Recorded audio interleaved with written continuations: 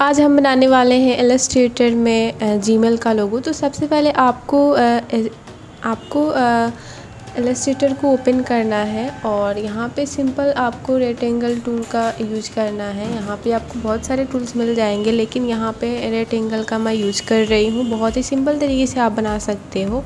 Simple इसका एक copy लेना है और आपने इसको अल्ट प्रेस करके आप इसका कॉपी ले सकते हो कीबोर्ड से। और इसको ड्रैग करके आपने इसको इस सेंटर में लगाना है। और इसके बाद आपने यहाँ पे डायरेक्ट सिलेक्शन और यहाँ पे सिलेक्शन टूल आपको दो मिल जाते हैं। तो उसमें क्या है कि आपको डायरेक्ट सिलेक्शन से इसको सिलेक्ट करना है।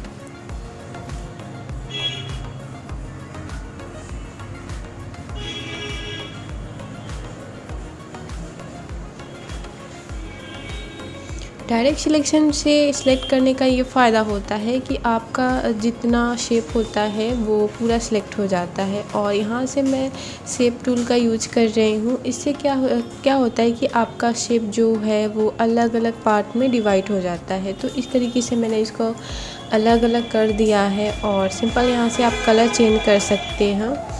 तो ये अभी जैसे कि मैं अभी कलर चेंज कर रही हूँ तो ये क्या होता है कि आपका अभी ये मेरे डायरेक्ट सिलेक्शन से पूरा पाथ जो है वो पूरा सिलेक्ट है। तो अभी मैं इसका कलर दूँगी तो ये पूरा कलर आ जाएगा, क्योंकि अभी तो इसका शेप से मैंने इसको अलग किया था बट अभी अभी भी ये अलग नहीं हुआ, क्योंकि ये डायरेक्ट सिलेक्शन से अभी भी सिलेक्ट था। इस तरीके से आपने एक एक सिलेक्ट करना है, उसके बाद कलर को फिल करना है। यहाँ पे मैं कलर ऐड कर दे रही हूँ और ये वाला जो है, इसको हमने डिलीट कर देना है। सिंपल ऊपर वाला का भी आपने डिलीट कर देना है और इसका कलर चेंज करना है। इसका कलर होगा रेड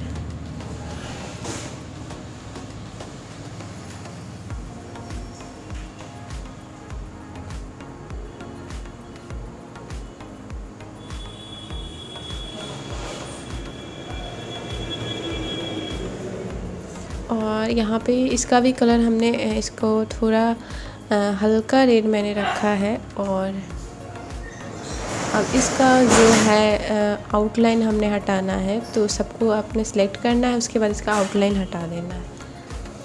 अब इसका हमने पूरा सिलेक्ट करना है डायरेक्ट सिलेक्शन टूल से और इसका एक कॉपी लेना है। तो सबसे पहले माउस से अपने राइट क्लिक करना है, वहाँ से ट्रांसफॉर्म रिफ्लेक्ट करना है और यहाँ पे आपको प्रीव्यू भी देखने को मिल जाएगा। इसका कॉपी लेना है। अब इसको आपने ट्रैक करना है और इसको अच्छे से सेंटर में लगाना है।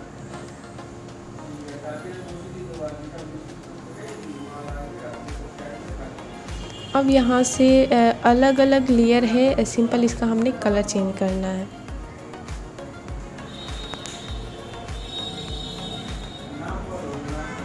अब इससे डायरेक्ट सिलेक्शन से मैं इसको सिलेक्ट करके इसको ड्रैग करूँगी तो ये सारे पार्ट जो है वो गलत तरीक़ों से हो जाएगा। तो इसको हमने बाद में करना है। सबसे पहले हमने कलर को फिल करना है।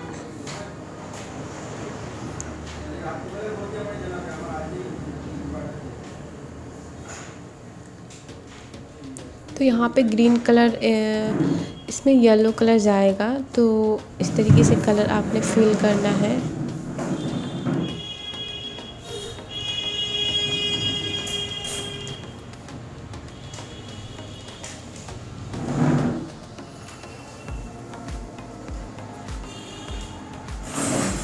नीचे वाला पार्ट का भी हमने ऐसे ऐसे ही कलर को फिल करना है।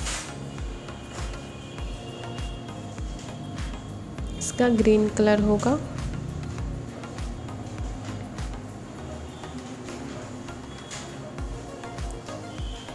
इसके बाद डायरेक्ट सिलेक्शन से आपको बस थोड़ा सा ऊपर वाला सेलेक्ट करके इसको ड्रैग करना है और ये दोनों पार्ट एक साथ ही नीचे आएगा क्योंकि ये दोनों एक साथ ही सिलेक्ट हो गया है।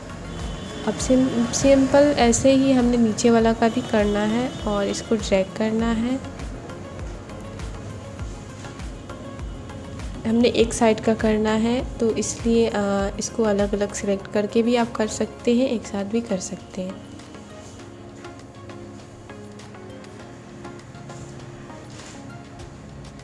अब इन दोनों को सिलेक्ट करना है और यहाँ से आपको ग्रुप करना होगा या आप ज्वाइन कर सकते हैं। इसको मैं ग्रुप कर देती हूँ, एक साथ जुड़ जाएगा।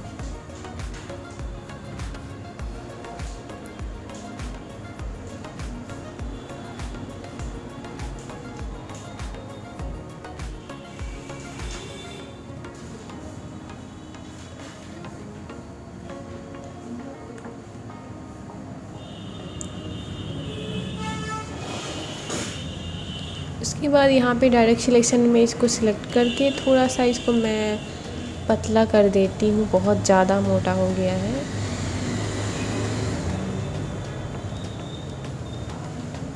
तो इस तरीके से आप बना सकते हैं। बहुत ही आसान है। आप